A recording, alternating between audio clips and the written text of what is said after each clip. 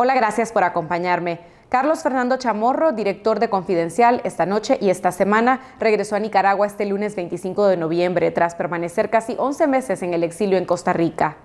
Junto con Chamorro regresaron su esposa Desiree Elizondo, otros periodistas nicaragüenses, familiares de víctimas y estudiantes que también se habían exiliado debido a la persecución política del régimen Ortega Murillo.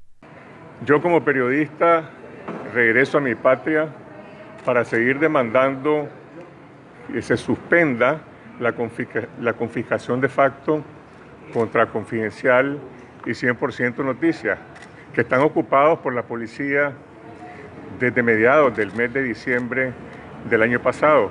Chamorro también hizo énfasis en que ha regresado a pesar de que no existen las garantías para el ejercicio de los derechos constitucionales de la ciudadanía, pese a la inseguridad y el irrespeto a los derechos humanos, una situación que lejos de mejorar ha empeorado, dijo a su llegada. Esa es la emoción que tengo hoy al regresar a mi patria, a trabajar, a demandarle al Estado que no siga persiguiendo a los periodistas, que cesen las agresiones contra los reporteros, contra otros medios de comunicación y que se restablezca plenamente la libertad de prensa. El Consejo Permanente de la Organización de Estados Americanos recibió este lunes el informe preparado por la Comisión de Alto Nivel sobre Nicaragua. A la sesión se hicieron presentes víctimas y familiares de las víctimas de la represión estatal, así como activistas y representantes de organismos de sociedad civil. Y a mi hijo lo asesinaron vilmente el 14 de julio en el ataque a la Iglesia Divina Misericordia. Exijo como madre a los miembros del Consejo Permanente de Derechos Humanos y a la Comisión Interamericana que estos crímenes no queden en la, impunidad. Antonia Urrejola, segunda vicepresidenta de la Comisión Interamericana de Derechos Humanos, dijo que las violaciones de derechos humanos continúan en Nicaragua. El informe presentado la semana pasada por la Comisión de Alto Nivel dice que Nicaragua vive una crítica situación en materia de derechos humanos que requiere la urgente atención de la comunidad interamericana e internacional en su conjunto y concluyó que en Nicaragua hay una alteración del orden constitucional que afecta gravemente el orden democrático.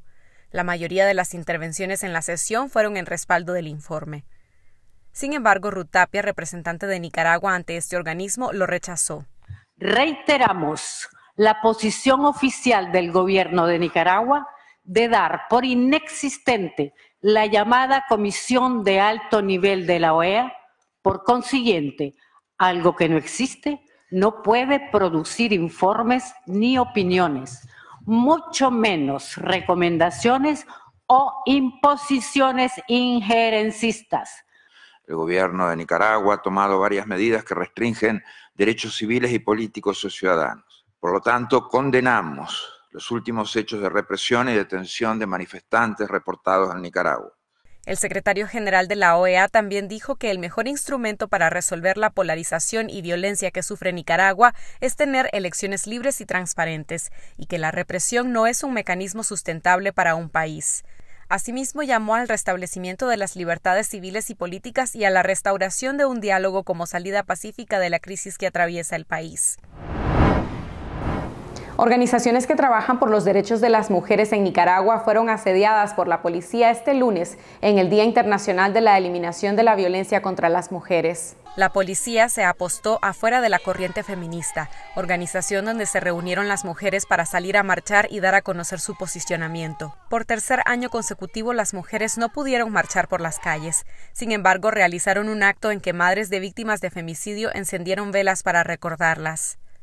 La articulación feminista aprovechó la ocasión para denunciar la sistemática violación de derechos humanos por parte del régimen Ortega Murillo. El comunicado advierte que la represión política promovida y ejecutada por el régimen ha provocado la extensión de la violencia de género producto de un clima de impunidad.